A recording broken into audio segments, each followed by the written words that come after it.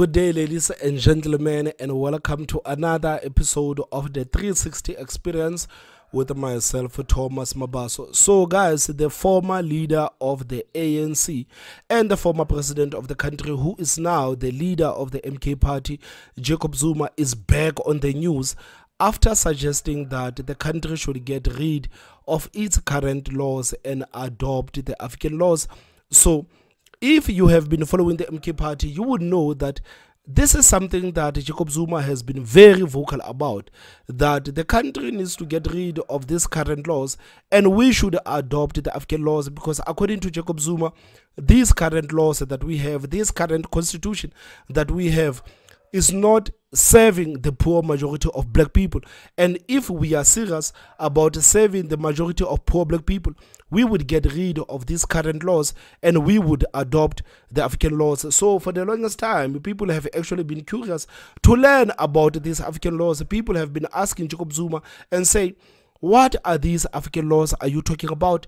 Where can we actually read about these African laws? So, hopefully, soon enough the mk party will actually release these african laws that they always talk about. So recently guys jacob zuma was at an event and he was speaking about the same issue that the country needs to get rid of these current laws and we should adopt the current laws. And one of the questions that jacob zuma posed is that if we are free as the people why are we not allowed to make our own laws. So guys, I'm going to play you this video of Jacob Zuma speaking about our current laws and how we need to get rid of the current laws. And after that, we are going to go through the comment sections because it looks like this time Jacob Zuma has finally got the attention that he wants from South Africans. So this is Jacob Zuma speaking about our current laws and why if we are free, why are we not allowed to make our own laws?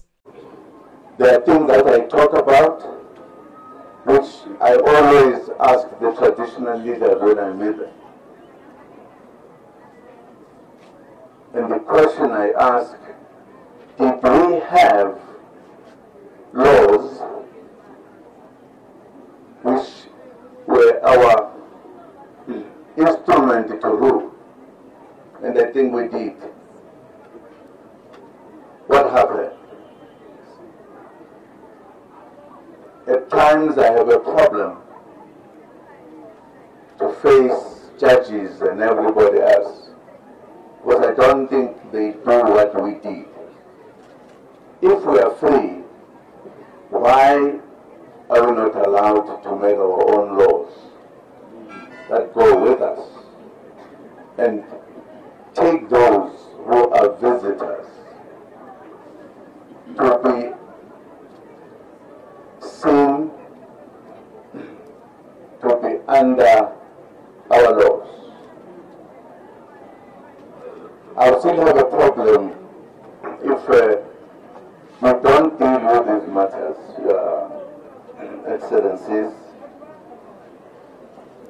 because I always feel bad that people who are under you are starving, they have poor, and I believe in a South African free state, the traditional leaders should lead the changing of the lives of our people. Yes, we do have traditional leaders and we respect them. But I think our friends who came to us don't. So, guys, this is Jacob Zuma speaking about our laws. And you heard from the man, Jacob Zuma actually believes that uh, the traditional leaders are the ones that should be leading the people. According to Jacob Zuma, these current laws that we have, he has categorized them as the Roman Dutch laws. The country needs to get rid of them. So the traditional leaders are the ones that are supposed to lead the people.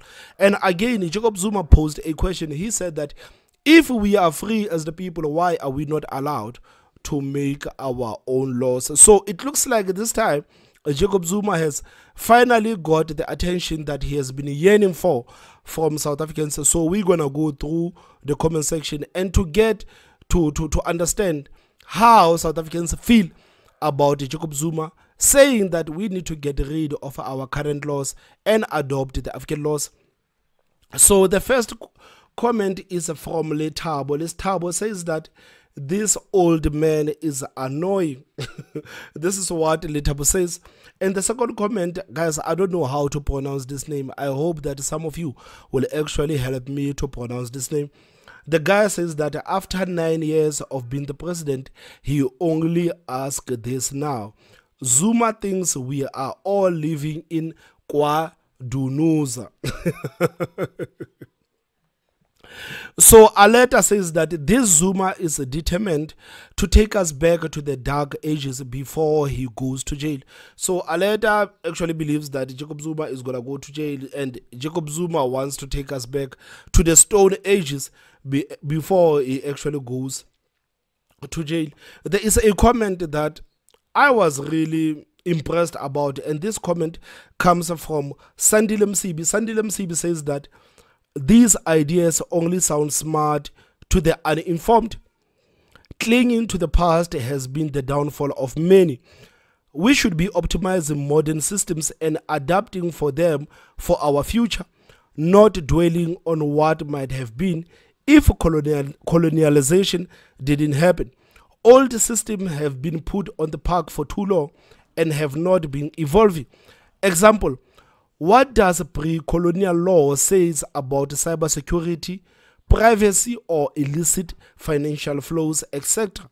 This elder needs to retire and stop pretentious nostalgia. He wasn't even part of that era. So Sandile says that no man.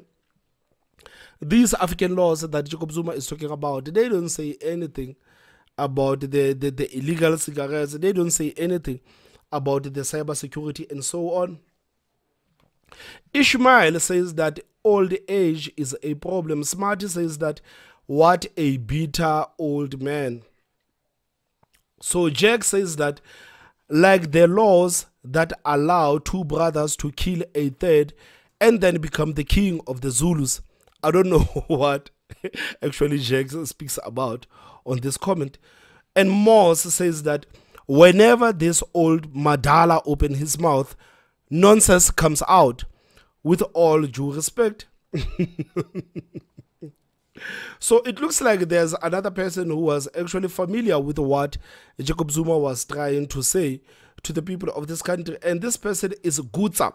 Gutsa says that this goes to show how the ANC was captured by the neo colonial forces, and, the, and Zuma could not move according to his beliefs. The evidence is clear how they got rid of him and went after him. I am not saying he is clean, he, is a clean man, or he was perfect leader. But for a moment, let's consider the evil forces that he had to work against, how organized and wealthy they are. To fight this, I believe he thought the Guptas would help him wrestle the power and influence. Was this what this was was this a strategy? So Gutsa actually believes that it's a good thing that Jacob Zuma worked with the Guptas. Jacob Zuma worked with all of those people. ND8386 says that Zuma will only fool the fools. Iskatulo say para. He says that he didn't change any provincial laws when he was the MEC and the member of parliament in KwaZulu Natal for five years. He didn't change any provincial laws when he was the deputy president and the member of the National Assembly for six years. He didn't change any provincial laws when he was the president for nine years. So, guys, these are what South Africans are saying to Jacob Zuma because Jacob Zuma has been talking about this issue for the longest time, ever since he has been the leader of the MK party. This is one of the things that Jacob Zuma has been very vocal about. So Pearl says that, wow, this is powerful. Those blacks who hate Zuma, I don't know why, seriously. So Pearl doesn't understand why people hate Jacob Zuma. Mr. Ai says that Jacob Zuma spent years in the struggle against apartheid. In 1994, when South Africa transitioned into democracy, our constitution was born. Zuma was amongst the leaders of the ANC and he never objected to the adoption of the South African constitution. so they say that, no, Zuma, why are you now talking about these laws and pretending like these laws are such a problem when you yourself didn't say anything when the constitution was actually adopted. So Dintwen Shai says that it's funny that the old man is busy talking about ill about things that he could have easily influenced uh, uh, uh, to be changed during his long periods as both the deputy president and the president of the country. And at one stage, he had the joy of a two third majority needed to change such laws. So Dintwen says that Jacob Zuma, at one point, you had the two third majority and you didn't change any of these laws. Why you didn't change any of these laws? Ngwatoto Bejane says, a useless man. He was the president for nine years and all he did was to enrich himself and the Guptas. Zolani Neu says that this old Madala is boring he was given a nine years to change to pass all of these laws he's complaining about. What's worse, he refused to expropriate land without compensation. EFF gave him their votes. Instead, he went to Orania and praised the people of Orania as a community of interest. That's what Zolani says. Khabo says that is he also counting his nine years while he was the president, did he try to make his own laws? so, guys, right now I am just going through the comment sections and trying to show you what South Africans are actually saying about Jacob Zuma being the president of the country and him actually suggesting that we should get rid of these laws that we have today and adopt the African laws. So people are still waiting to hear about the African laws that Jacob Zuma is talking about. What are these African laws that Jacob Zuma is talking about and where can we read about these African laws that Jacob Zuma is talking about? So re rata kaofela CR so I think CR means that Ramaphosa he says that 66% of South African population voted for him precisely to make the laws that benefits them but he failed them. Now he is asking them a question. Lucas Moahi says that for the, for 20 years or so you were in government not once did you say this nonsense. Typical opportunist when it suits your personal goal, you even forgot that you were once the president. So this is one of the biggest criticisms that Jacob Zuma has actually been facing because people were saying that Jacob Zuma, you were the president of the country. Why didn't you speak about these issues when you were the president of the country? You never said a word about these issues when you were the president of the country. So Mukoni says that Zuma is annoying after nine years of eating curry and dancing during his presidency. Now, all of a sudden, he wants changes over the same systems he governed with. Man, Mukoni is brutal. Onkarabile, he says that he failed to do those laws for nine years. I am not convinced. Oleta says that this light bulb suddenly started working after he has been in office for almost 10 years. Why was he not switched on back? Why was he not switched back on? Then he had the powers to do it. I don't get it. He had the powers to actually change these laws that he's actually talking about. Why didn't he do it? This is what the premier's comment is actually talking about. So another comment, comment comes from Neti. Neti means the truth. He says that nine years as the president, and only because the ANC is trying to get him arrested, he now wants these conversations. Whoever follows this man is an idiot. Everything he's doing now is from his himself and nobody. he knows he needs the support of the people to stay out of jail. So Iga says that this is clearly the logic of a man who never sat in a classroom. Where were those African laws when he was sworn in twice under the so-called settlers laws as the president and he served happily under it? Rubbish. He belongs in jail anyway. So another comment comes from Roy. Roy says that this old man is very annoying. He was voted twice as the president to make the laws, and he's now asking us nonsense.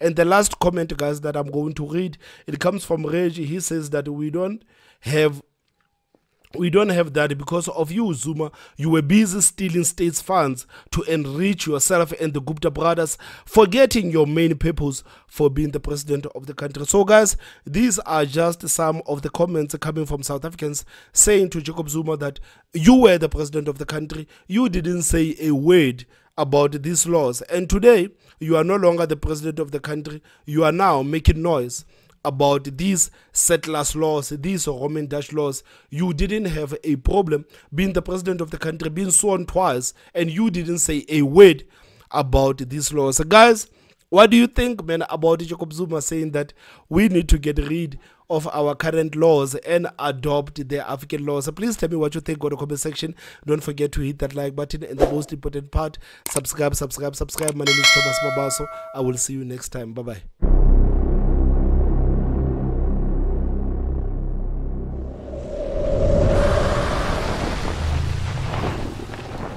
360 experience with Thomas M.